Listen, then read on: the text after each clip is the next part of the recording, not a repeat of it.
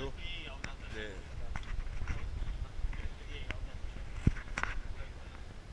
어, 그니까, 제 그래, 오래 있잖아.